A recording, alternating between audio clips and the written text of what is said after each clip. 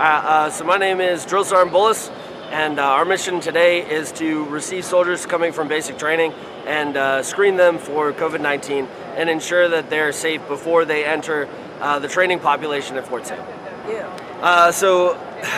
COVID-19 and the pandemic, we want to really make sure that we um,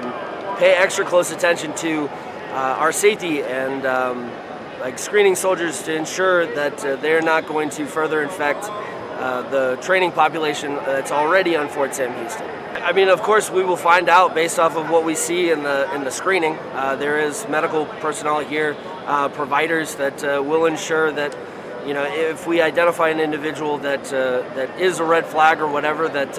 we take the additional time to screen them appropriately to ensure that they're COVID free. When they arrived, we identified each individual by name and uh, where they were headed to, what battalion specifically, and then we brought them up to the screening line uh, where drill sergeants gave them questionnaires to ask them, you know, how they're feeling, what symptoms they may have, if any, uh, and then um,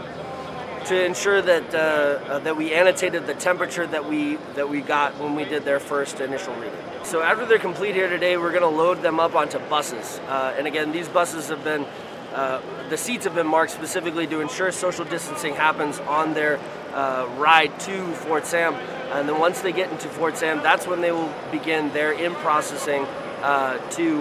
the, whatever battalion